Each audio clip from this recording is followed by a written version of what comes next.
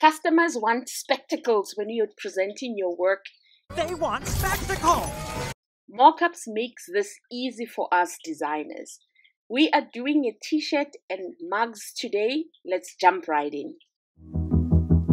Canvas on this video. So we're going to select a presentation canvas. It's a 1920 by 1080.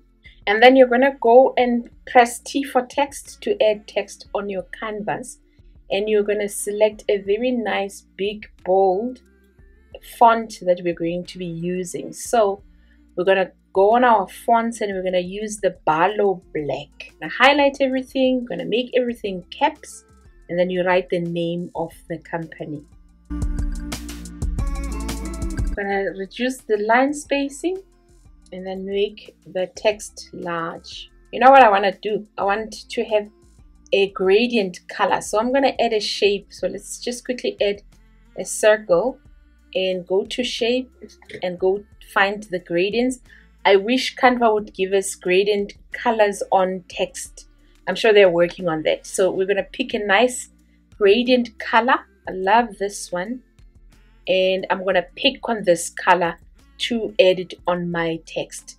So I'm going to go to colors and then pick the color I'm gonna be, go like in the middle of it. It's not gonna be perfect, but it's not gonna be one color.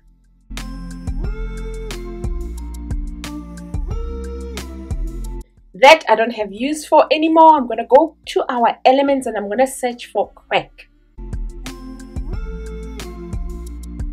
And I'm looking for graphics of cracks that I'm gonna be using. We're gonna change the color and make it the same as the background of the canvas that we're using. And it starts cracking quite nicely like that. You're going to duplicate that and do the same on the rest of the words. So you can be the designer here and um, make it the way that you want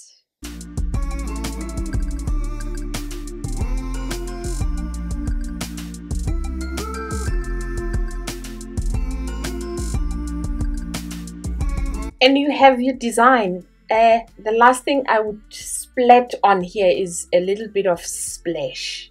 So I'm gonna go to my elements and I'm gonna search for splash. And on my graphics I'm gonna look for different splashes I can use to just rock on the design that I'm busy creating. So like this is perfect.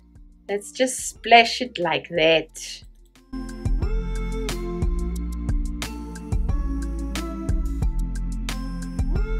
awesomeness. I love it. Now we're going to download this. So how we do that we're going to click on share and we're going to scroll down and select download. And then we're going to click on the drop down arrow and select png and it doesn't matter if you download it as a transparent background because canva doesn't take away those extra lines anymore.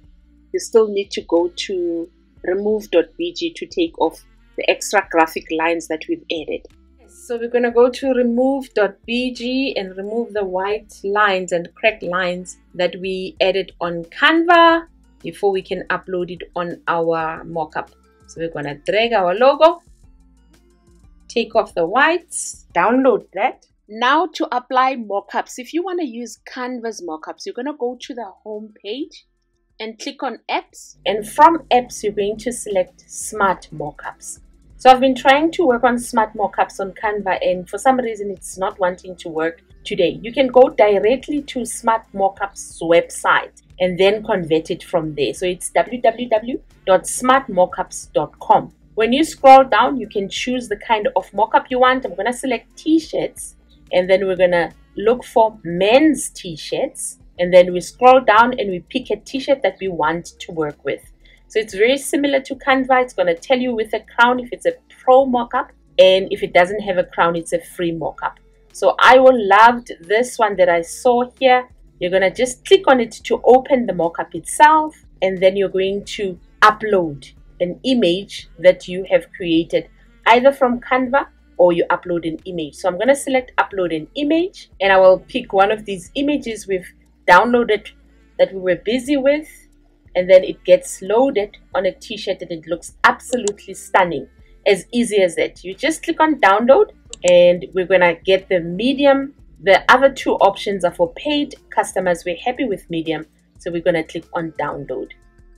Downloading your own mockup is also fairly easy. You're to access unblast.com and I'm to search for mugs on my mockup. So I'm to type mug and there's different kinds of mockups that I can download and use depending on the type of brand you would like to promote uh, or share with the people you're designing for. You can pick any one of these and download them. So let's pick this one and it says our design. We click on free download and then it starts counting down and we're going to download it.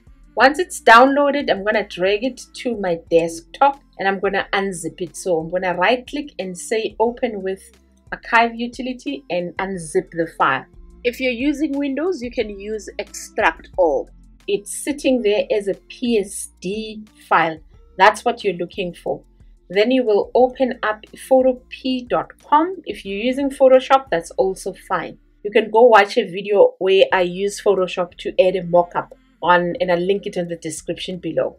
From your main page on Photopea, you're going to select open from computer and you're going to go look for the PSD file wherever you've saved it. Just make sure you're picking a PSD file. You're going to double click on that or you click and you open it. The mockup that we've selected has two cups, a left and a right. So what you need to hide would be the first layer. We don't need this, so we're going to click once and hide it.